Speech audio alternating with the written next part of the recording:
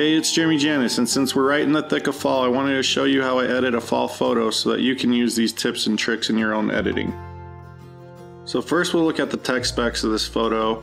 Shot at ISO 400. I was using a 24 to 70 millimeter lens. This was at 46 millimeters. I had it at f16 so the depth of field was there. And then I was hand holding it so it was at 1 125th of a second. So first we're going to reset the color. And if you want to adjust it to be warmer or cooler, you can do that with temp. Uh, I'm not going to touch the exposure. I'll pull the highlights down and you can see that cleared the sky up. Pull the shadows up. And I'm going to pull the blacks up. I'm not going to touch the whites because I'm pretty happy with where those are at. I'm going to pull the clarity here. And you can see that starts to define those edges a little bit more. You could also pull texture if you wanted, but that can create some noise issues down the road.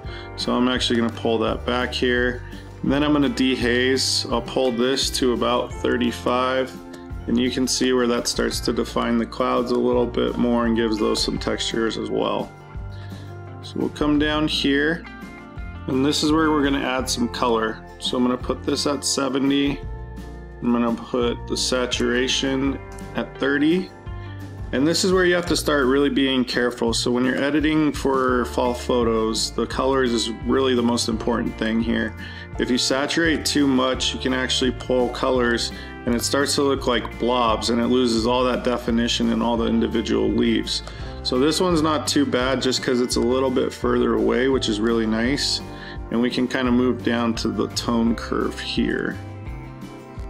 Now this is where we're going to fine tune this photo. So we'll pull highlights up a bit and then I'm going to pull lights down so you can actually see where that gave a little bit more definition to those clouds. I'm going to pull the darks up and then I'm going to pull the shadows down.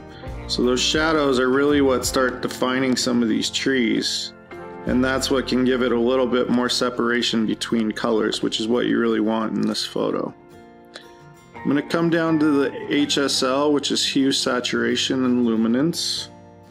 So hue is where you can change actual individual hues. So you can pull those oranges and yellows, greens, adjust everything.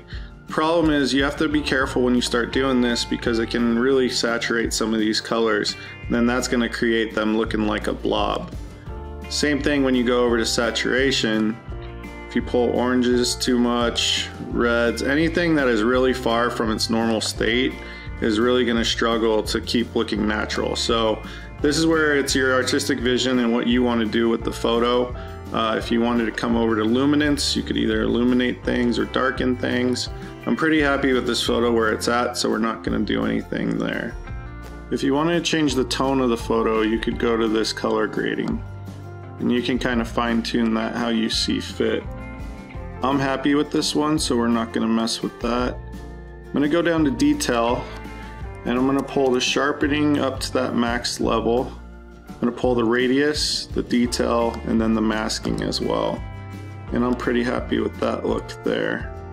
I'm happy with the noise, so we aren't gonna go to noise reduction.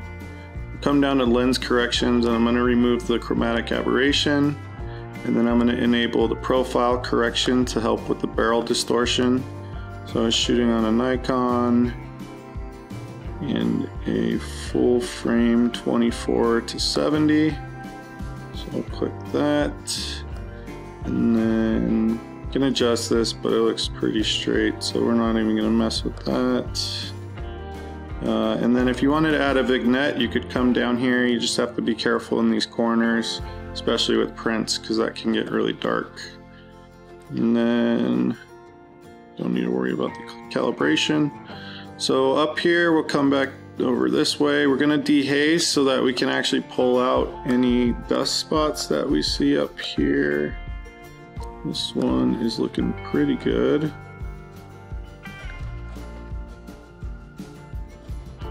Pull this one here. So we've got the size the feather is how far from the center that goes out and then opacity is at 100 and we have that on heal. Uh, there's another little spot here. Possibly here. Put this back down to 35. And this is our final fall photo. I hope this helps you with your fall editing process. And if you like my content, please like, share, and subscribe to my channel. And thank you so much for watching.